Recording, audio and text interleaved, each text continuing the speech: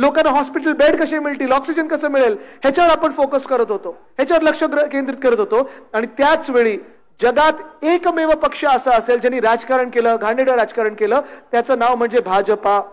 हे जे चारसो पार चारसो पार जे मागत होते ते एवढ्यासाठीच मागत होते. त्यांचे देखील उमेदवार बोललेले अगदी पंकजताई मुंडे देखील बोललेले आहेत की चारशे पार द्या कारण आम्हाला संविधान बदलायचं आहे. पण तरी देखील काही गोष्टी चर्चेत आणणं गरजेचं असतं काही गोष्टींवर बोलणं गरजेचं असतं. काही काही गोष्टी सांगणं गरजेचे असतात. कारण खूप वेळा असं होतं की भाजपचे लोक हे येऊन आपल्या घरी बसतात किंवा आपल्या व्हॉट्सअपमध्ये येतात आपल्या सोशल मीडियावर येतात. हल्ली मी पाहतोय गुगल ऍड त्यांनी वाढवलेले आहेत युट्यूबचे ॲड वाढवलेले आहेत. आणि चार महिन्यापूर्वी जे ते सांगत होते की अब की बार सो पार ही परिस्थिती तर राहिली नाहीये. देशातलं चित्र बदलत चाललेलं आहे परिवर्तनाचे वारे वाहू लागलेले आहेत. कुठच्याही राज्यात जा तुम्ही आता एकच नार आहे. अबकी बार? अबकी बार?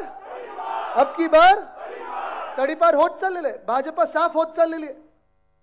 आणि मी हे मुद्दा म्हणून तुम्हाला सांगत आलेलो आहे. सतत प्रत्येक सभेत सांगतो मी. प्रत्येक जिल्ह्यात जातो प्रत्येक मतदारसंघात जातो तेव्हा सांगत असतो.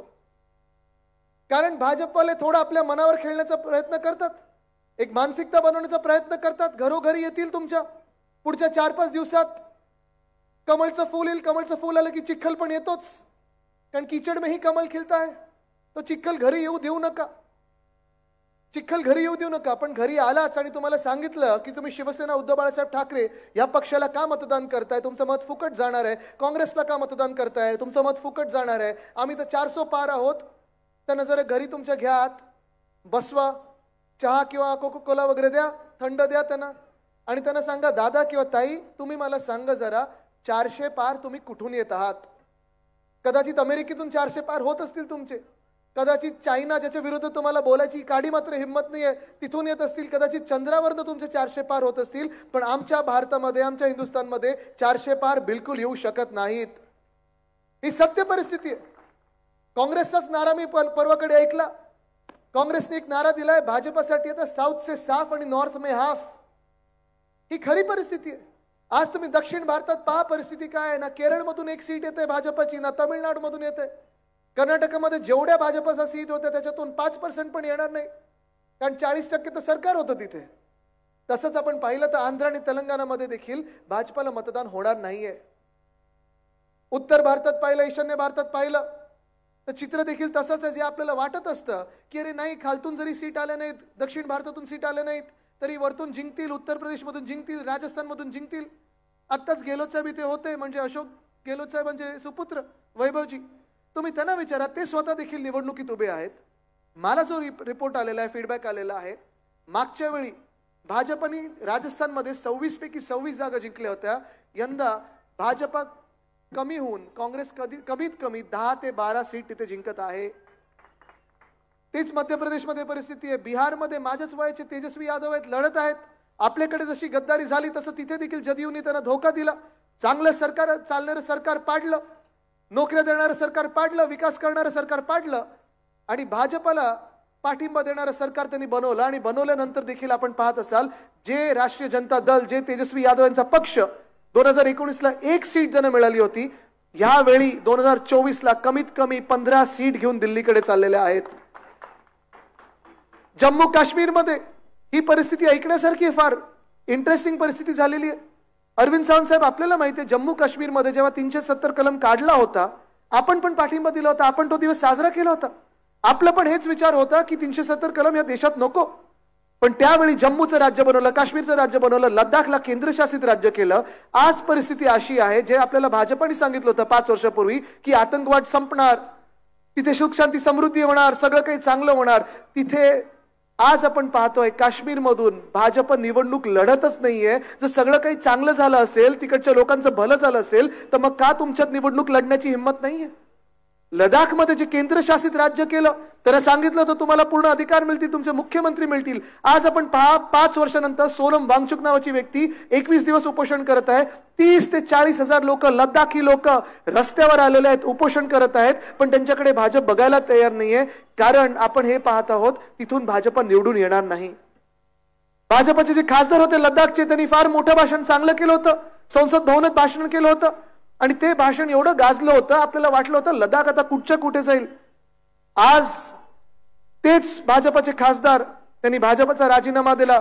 त्यांनी सांगितलं मी निवडणूक लढणार नाही लोकांची जाऊन माफी मागितली आणि परत एकदा सांगितलं एक ही भूल एक ही भूल. ते बोलले आम्ही नाही करणार हे पुन्हा एकदा. आणि हे सगळं चित्र देशभरात असताना तुम्ही मला सांगा महाराष्ट्र कोणाच्या बाजूनी राहणार आहे? आपण आपल्या बाजूला एका पा- पाहताय आपण. एका बाजूला महाविकास आघाडी आहे इंडिया आघाडी म्हणजे आपण शिवसेना उद्धव बाळासाहेब ठाकरे काँग्रेस राष्ट्रवादी काँग्रेस शरदचंद्र पवार साहेबांची आणि सगळे आपले मित्र पक्ष आहेत. दुसऱ्या बाजूला भाजप आहे ज्या भाजपनी आपल्या राज्याचं राजकारण जे आहे ते दोन अडीच वर्षापूर्वी गढूळ केलं. ही तीच भाजप आहे. ज्यांनी कोविडचा काळ जेव्हा आपल्या महाराष्ट्रात सुरू होता आम्ही सगळेच महाविकास आघाडी म्हणून तुम्ही पण सगळे मुंबईचे नागरिक म्हणून आपण महाराष्ट्राचे नागरिक म्हणून देशाचे नागरिक म्हणून स्वतःची काळजी घेत होतो या देशाची काळजी घेत होतो आपल्या राज्याची काळजी घेत होतो. लोकांना हॉस्पिटल बेड कसे मिळतील ऑक्सिजन कसं मिळेल ह्याच्यावर आपण फोकस करत होतो. ह्याच्यावर लक्ष केंद्रित करत होतो. आणि त्याच वेळी जगात एकमेव पक्ष असा असेल ज्यांनी राजकारण केलं घाणेडं राजकारण केलं त्याचं नाव म्हणजे भाजपा. तीच भाजपा आहे ज्यांना डॉक्टर बाबासाहेब आंबेडकरांचा द्वेष आहे. ही तीच भाजपा आहे ज्यांना महाराष्ट्राबद्दल द्वेष आहे ही तीच भाजपा आहे ज्यांना संविधान बदलायचं आहे आणि ही तीच भाजपा आहे ज्यांना आपली लोकशाही संपवायची आहे. आणि मी खरं बोलत आहे नुसतं आम्ही बोलत आहे म्हणून ते संविधान बदलणार भाजप ह्याची अशी गोष्ट नाहीये हे जे चारसो पार चारसो पार जे मागत होते ते एवढ्यासाठीच मागत होते त्यांचे देखील उमेदवार बोललेले अगदी पंकजताई मुंडे देखील बोललेले आहेत की चारशे पार द्या कारण आम्हाला संविधान बदलायचं आहे. का संविधान बदलायचं आपल्याला?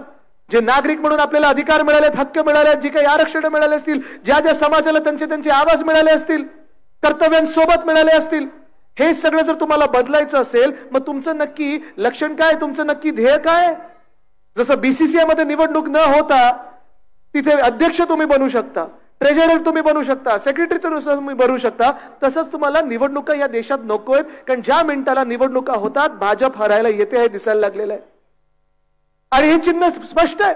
जे मी सांगतोय चारशे काय तीनशे काय दोनशे पण भाजपचे येणार नाहीत. ह्याचे पहिलं संकेत आहे जेव्हा जेव्हा भाजप हरायला येतं तेव्हा एक भाषा ती सुरू करतात ते म्हणजे हिंदू मुस्लिम. तेढ निर्माण करा धर्माधर्मामध्ये तेढ निर्माण करा. ज्या मिनिटाला आपण विखुरले जातो त्या मिनिटाला भाजप येतं त्यांची पोळी भाजते आणि सरकार बनवते.